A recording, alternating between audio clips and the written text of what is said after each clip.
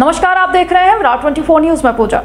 संयुक्त किसान मोर्चा ने किसान बिल सहित किसानी से जुड़े तमाम मामलों के निराकरण एवं केंद्र सरकार के द्वारा संयुक्त किसान मोर्चा राष्ट्रीय नेतृत्व को भेजे गए एक पत्र के आधार पर दिल्ली की सीमाओं के साथ ही समूचे देश सहित रीवा में तीन दिनों से चल रहे किसान आंदोलन को लखीमपुर खीरी की घटना के सहित देश की सीमा पर आंदोलनरत लगभग 715 किसानों की शहादत एवं विगत देश से सीडीएस विपिन रावत एवं सैन्य अधिकारियों की शहादत को नमन करते हुए विंध्य की पूर्व राजधानी रीवा में सितंबर 2020 को रिपीट सितंबर 2020 से चल रहे किसान आंदोलन को विंध्य की माटी का चरण वंदन करते हुए मोर्चे ने करहिया मंडी के बाद ग्राम बेहरा में चल रहे अनिश्चितकालीन धरने को किसान नेताओं और किसानों, मजदूरों, आंदोलन के समर्थकों की उपस्थिति में स्थगित कर दिया। मौके पर एक दूसरे को मिठाई खिलाकर, मिट्टी का तिलक लगाकर सादगीपूर्ण आपस में गले मिल हौसला अफजाई किया।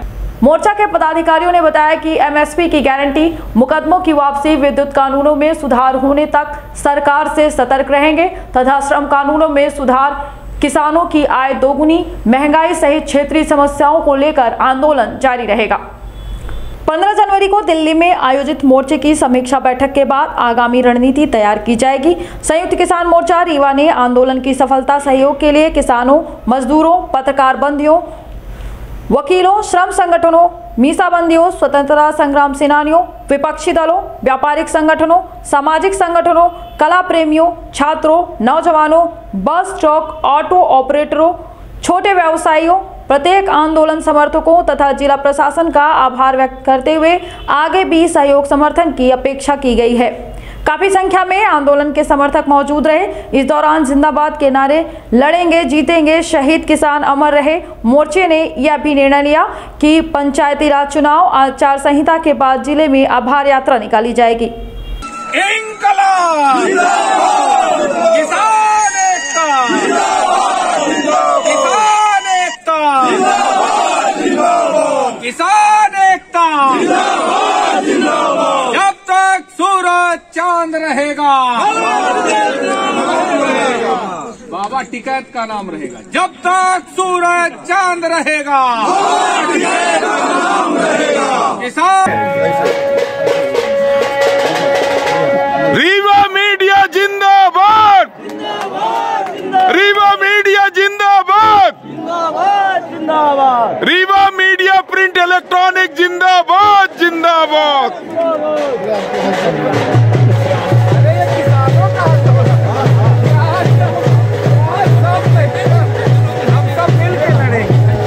आज आंदोलन स्थगित हुआ।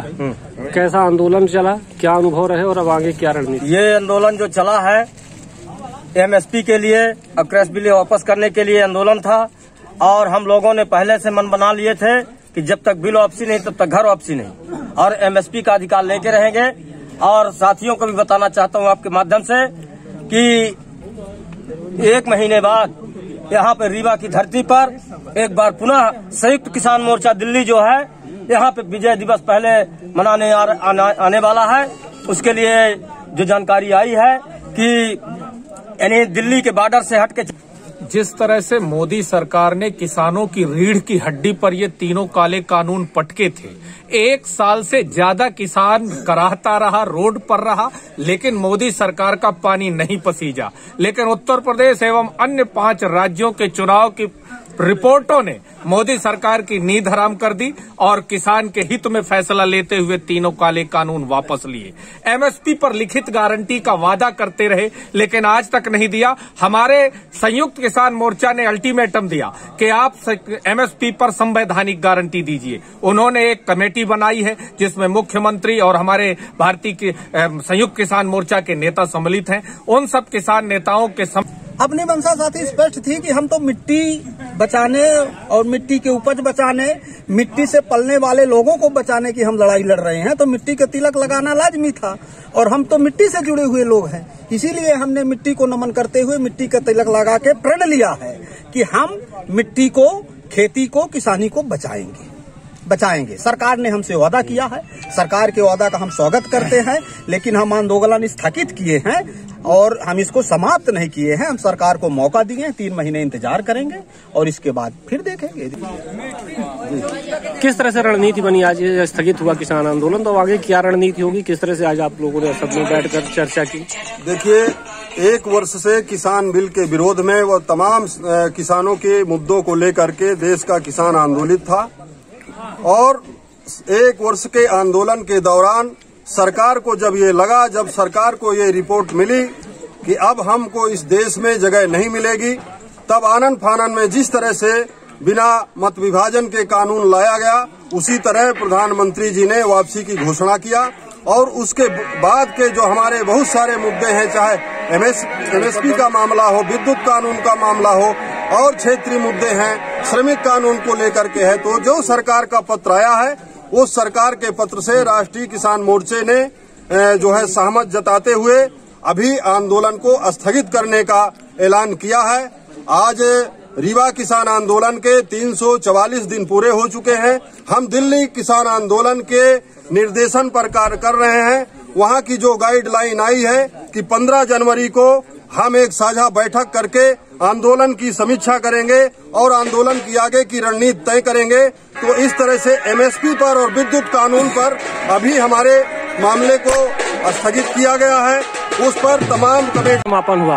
किस तरह से समर्थन रहा और आगे क्या रणनीति बनाई आप लोगों ने? हम किसान संगठन से उन्नीस सौ चौरासी से जुड़े और लगातार हमारे देश के सरहद में किसान आंदोलनरत रहे। तीन कृषि काले कानूनों की वापसी के लिए वहीं हमारे रीवा के किसानों ने, विंध्य के किसानों ने, रामपुर में, सतना ज़िले में और रीवा में लगातार दिल्ली के किसानों के साथ कंधे से कंधे मिला के आंदोलन के जब तक बिल वापसी नहीं, तब तक घर वापसी का ऐलान किया था।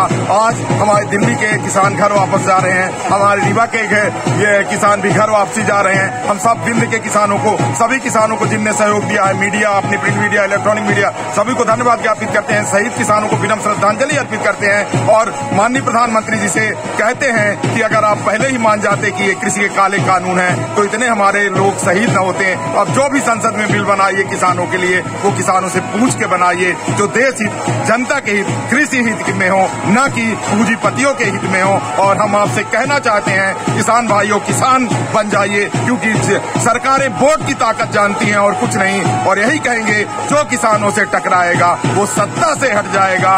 हम किसान, भारत माँ किसान, भारत माँ मेरी शान।